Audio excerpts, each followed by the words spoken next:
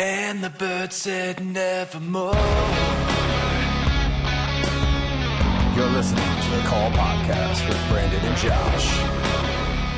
Hello, everybody, and welcome to a brand new edition of The Caw. It is a Baltimore Ravens podcast where we talk anything and everything Baltimore Ravens football. Thank you all for listening to us on Apple Podcasts, Stitcher, TuneIn, Player.fm, Overcast, Overcast. Google Podcasts, Spotify, Facebook, and YouTube. Well, here we are. It's episode 301. I hope you guys enjoyed that special episode 300 we brought to you a couple weeks ago, where Josh and I got to hang out with John from Jimmy's Famous Seafood. What a treat that was. Got to learn all about the tailgoat. I hope you guys are signing up and going to a couple tailgoats this year. But hey, training camp has officially started. The Ravens are back at the castle. So Josh and I decided we're going to do a little mini episode, kind of talking about the Ravens and some other things going on in the NFL. So, Josh, how's it going, man? How are you? Doing great, man. Um, how do we follow up 300? I hope 301 is going to be just as awesome. I think it'll be just as Um, awesome. I don't know. There might be less crab cakes, though, unfortunately for us. Less crab cakes. Nah, I'm not good with that. Got to give me the crab cakes. But, nah, I mean, you were together 301 strong, man. It's been awesome. Another installment, another year's upon us. Bro, football season. It is football season. I'm so excited. I'm going to the stadium practice this weekend. I'm so excited to go to that. It's uh, I'm taking my godson like I did Yeah. last year. It's going to be a blast. It's going to be great to be back at the bank, and it's going to be great to see these guys in the field once again. It's going to be awesome, man. I, I can't wait to hear all about it. Uh, yeah, I mean, this is it. I mean, training camp started for all 32 teams in the NFL. This is the last weekend without football until February because next week preseason starts for the Ravens. Preseason starts for the NFL. The first unofficial game is the Hall of Fame game next Thursday, and we're recording a week from that. Uh, be it that we're the last part of July, man. July's uh for ending, and uh, August starting next week. So uh, yeah, we welcome training camp with open arms. The Caw is ringing in the new season, Raven style. Dude, I can't wait, man. I've heard some good things out of day one already. Yeah, so we've got a lot going on. The Ravens, uh, the first report from day one is Lamar Jackson. He looks bulked up. We saw that uh, with minicamp just a couple weeks ago, but everyone is commenting on how bulked up and how big Lamar looks now. It seems as if a lot of players are coming back. J.K. Dobbins is chomping at the bit. He wants to get out on the field. He's not there yet, but uh, all signs point in the right direction. We've got Marlon Humphrey, who's looking fantastic. Right now, it seems as if the Ravens uh, at least for the, the first couple days of training camp, have a lot of their parts and pieces sort of trickling back in after that injury riddled season last year. Absolutely, and, and I I certainly echo what uh, you have brought to the table as far as the day one report. I heard Dobbins is on the sideline on the pup list looking in, see wants to get out there. Marcus Peters and a few others joined him on the sidelines on the pup list, not to rush them back. Um, Duvernay had a awesome back shoulder catch from Lamar uh, for the pass. That that was an incredible highlight. Heard Bateman and Humphrey were matching up one on one in in training camp uh, for day one. Um, I think Marlon got the best of them, is what I heard. But um, overall, Bateman's had a strong day. Obviously, Nick Boyle and Mark Andrews, you know, remaining strong with the tight end position. I heard Tyler Badie's got some small hands, or soft hands out there, not small hands, yeah, soft hands out there catching some balls out of the backfield. So, you know, overall, I can't wait to see what this rookie class can do. You know, all the focus is on Tyler Linderbaum and uh, Kyle Hamilton in the first round, uh, making a strong impact. Focus is on the new D coordinator with Odafe Oweh and uh, you know David Ojabo. Now Ojabo is the apparently he's the lone rookie unsigned.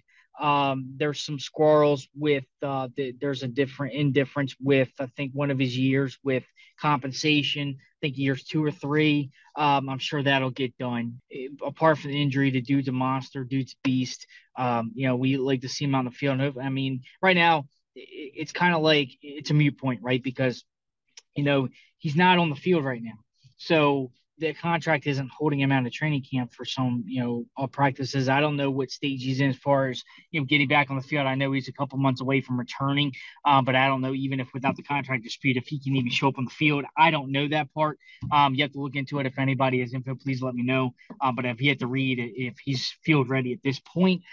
But we we would hope things get done on both sides. And and just like a few folks said and players echoed, if Lamar's not worried about his own contract, why should we? I mean, everybody's been gung ho, especially with the Kyler Murray situation a few weeks ago. You know, Lamar's going to probably command and warrant more given his track record and given his talent ability, you know, in that neighborhood. So it, it remains to be seen. But right now, Lamar's in camp, looking lean, looking mean, ready for the revenge tour as the whole Ravens bunch. And wants to show last year that we're all going to come back stronger than ever. Um, I think that's the motto for this year, unofficially. It should be just stronger than before, stronger than ever, or, or you know, something like that. Because I feel like no, I, I, feel like it's coming for the Ravens. They want redemption. You know, they were eight and three with all these injuries last year, and just went on that unprecedented losing streak at the end of the year. Was ridiculous. So in 2019, we were rewarded with a 12 game winning streak. Did you know playoff berth, one seed, didn't really get the job done. But last year was the opposite side with a, a crazy losing streak, eight and three, ending up eight and nine. Uh, could have pretty should have won every game pretty much they lost in. Um, you know, so and that gives you hope for the future even with the injuries. So, you know, reflecting back on last year, the past of the past, building on this year, the hype video got me pumped, ready run through a wall as usual. If you probably already saw it though, but I, I am ready to rock, ready to get back at it. And uh, man, I, I just can't wait overall, man. It's it's exciting time. It, it is definitely exciting. One of the things this season that's kind of interesting, kind of got me excited, is that the a lot of teams are doing some alternate or throwback helmets and uh, Adam Schefter put this out end of July on on the 25th, and I, I thought this was really interesting. He listed the alternate helmets. We have the Bears, Bengals, Cardinals, Commanders, Cowboys, Eagles, Jets, Panthers, Saints, and Texans doing alternate helmets for a few games, and then there's four teams doing throwback helmets the Cowboys, the Falcons, the Giants, and the Patriots. Now, unfortunately, we know that the Ravens can't do any throwback stuff because of the dispute over the original logo, which I, I, is such a bummer because I would love to see uh, the Ravens kind of rocking those original uh, jerseys and helmets one day. But I'm looking at these alternate helmets. I got to say, if you look at them, uh, we can post these up again, up again on the uh, Facebook page. I really like the Cardinals. I really like the Jets, and I really like the Panthers. It's kind of like the Panthers have this matte black, the Jets have this matte black, and then their logo logos are are one color and uh, it's it's a dark green it's a dark blue the cardinals their helmet looks black but when you look close it's kind of this really really dark maroon red color as well and i was just thinking what do you think that the Ravens could potentially do as an alternate helmet? We already know that the Ravens have an, a, a, great design. I love what the Ravens are usually wearing out on the field. But if they were going to do an alternate helmet, we haven't seen that before from them. What do you think that the Ravens could potentially do uh, with an alternate helmet? And which one is your favorite of the bunch that have been posted? Yeah, I, I think the Ravens. I, you know, if I use my imagination here, I would like to see a chrome purple like a chrome looking purple with a black matte face mask. Um, still using the Ravens logo, or maybe even using the shield on the helmets this time. Oh, interesting! Like I didn't think of that. Of, instead of instead of the uh, the Raven bird, I would like to see the shield on both sides. The other thing would be too is, and that would be a cool color combination with some of the jersey combinations that they have. Like that would look hot with a white jersey a little bit. What I also uh, the favorites in the bunch that you posted, I actually I'm going to give three helmets here. I do like the Jets. I'm going to put them fourth on my list. Top three, I would have to say the Bengals. The all white helmet is pretty awesome. Yeah. Um, the the Cardinals, and then I love the black helmets with the Panthers. So the Cardinals, Panthers, and the Bengals, I love their alternate helmets. I think they're awesome. I mean, all of them are great in their own right, but um, you know, but you know, I really love this top three, and then putting the Jets at fourth on my list. Yeah, I, I gotta say the Panthers. I think you and I are kind of seeing the same thing. I really dig that. I like the. It, it, I recently got a, a new car, and the big thing I, when I was looking at these new cars is I wanted black on black. I wanted uh, any of the logos or anything like that. I wanted them blacked out. I wanted the car black, and I have a Jay Z says all black everything. That's right. That's that's what I wanted though. I wanted everything to just be black. I wanted to like just the the very base trim around the license plate or the thread on the inside. I wanted that to be red, and I got that uh, luckily with the car. But I have a Ravens logo uh, right above the uh, the the name of the the vehicle on the back of the car, and it's it's a silver raven head and it's got that red eye. So I was thinking, what if the Ravens did like a matte black and then the logo of the Raven head was black and you just kind of saw that red eye? It would be kind of like black on black. I thought that'd be a really cool looking design. But I really like your idea though of um, doing like the shield and maybe like a purple helmet. I think that would look really nice because you see the Texans, they have a red helmet they're going to be wearing with their logo on and theirs looks a little chrome. And I've seen some of the alternate mini helmets when you do autograph signings. There are some chrome series out there, and they look pretty awesome. So I think the Ravens can mm-hmm. get away with like a chrome purple, matte black, or maybe even a chrome uh, gold or silver kind of deal, and maybe you know changing up a bit. I don't know, but obviously purple is the base color, black secondary.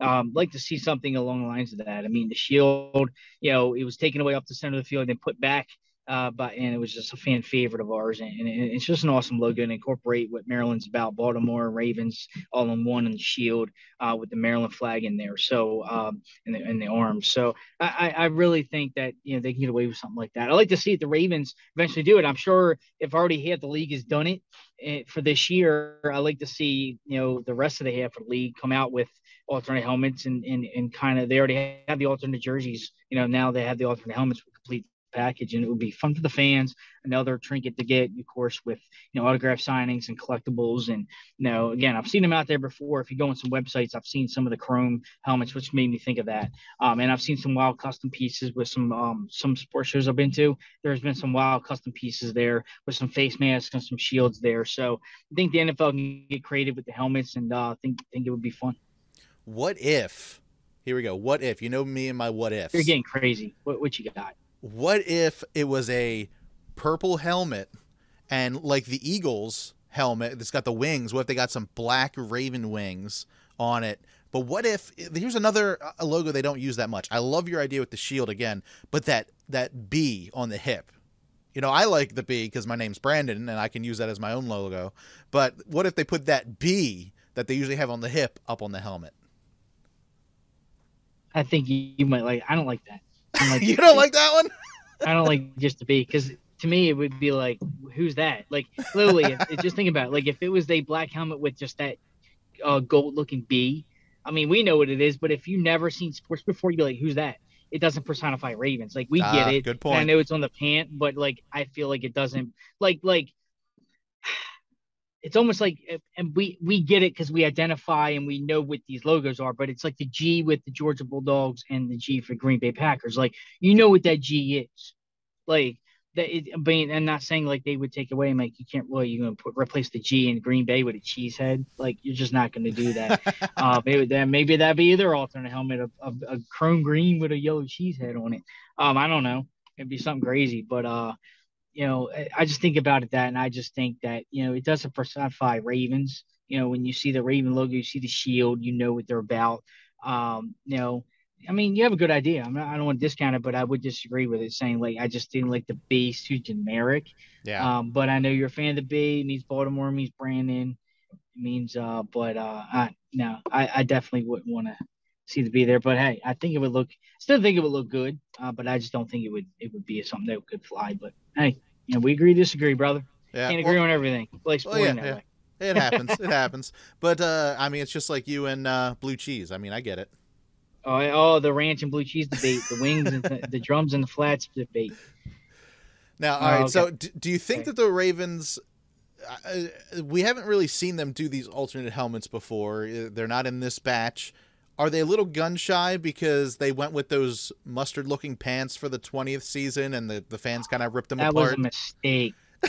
I remember they got beat bad that day. I think it was against the Chiefs or the Seahawks. I was at that game. It was ridiculous.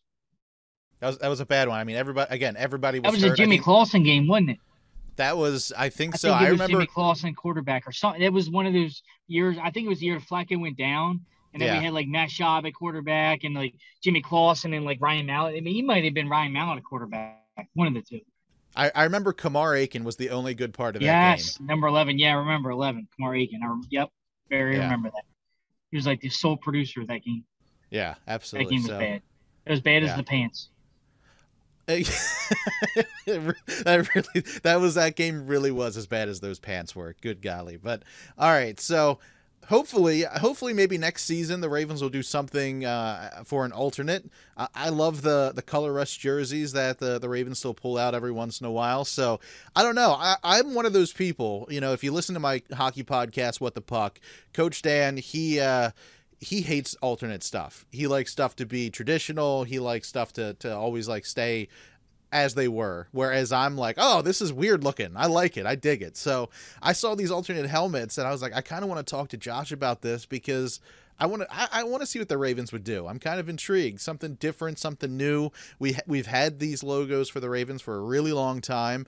Maybe we could come up with something a little bit different. Maybe we could come up with something kind of fun and and and out there, but we'll see. Maybe next year. But right now, this year, the Ravens are starting training camp. The season is right upon us. I can't wait. Uh, Josh, this was a little mini episode. Have we covered everything for this episode of the Caw? Quote the Raven, never murmur. We got to cover. All right, guys. Well, if you want to continue the conversation with Josh or I, if you guys are, you know, graphic artists out there, out there, you want to design your own helmet and show them off and let us see it, let them, let us see them.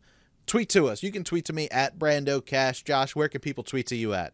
Always at Italian GQ52.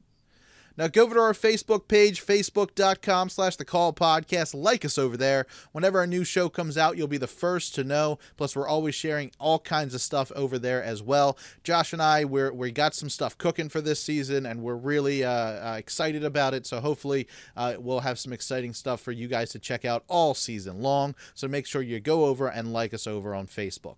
Now we do this show for free. You listen, stream, and download for free on Apple Podcasts, Stitcher, TuneIn, Player.fm, Overcast, Overcast.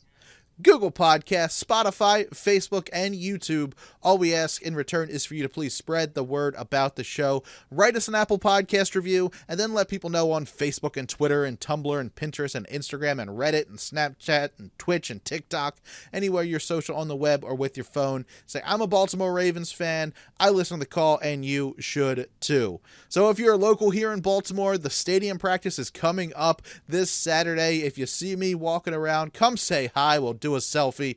But that's it for the show this week. Josh, take us out the way you always do. Appreciate it, Brandon. Football is back. But I will say this: I think the B alternate home is growing on me. 'Cause it stands for Already? Blue cheese. Yeah, because it stands for blue cheese and Britt Baker. All right, all right, Britt Baker, I'm, I'm all for. Blue cheese, though, no, no, it does not stand for that. It only stands for good things. I just thought I'd get you with that one. So okay, gotcha, gotcha. but uh, I tell you, I tell you what, B stands for. Baltimore Ravens are back, baby, and I can't wait to see what they got in store for us. Say, preseason game number one is on the horizon next weekend.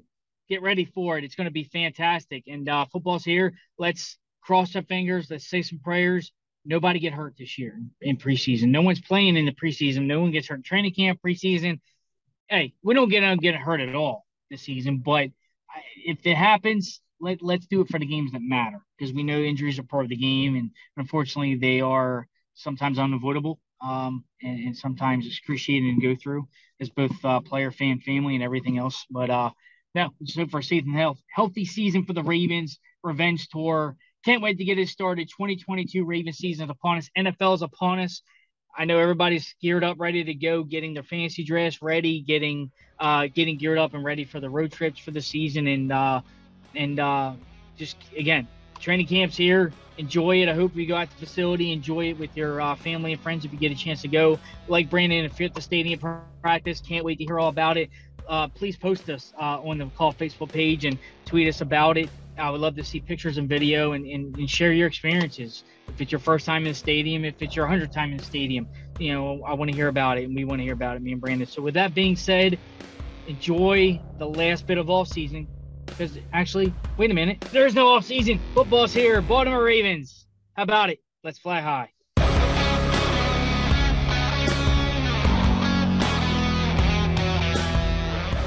This has been a production of Brando Cash Entertainment. Music by Brad Lepore and Daniel Kelly from the DBK Studio. For more information, go to brandocash.com.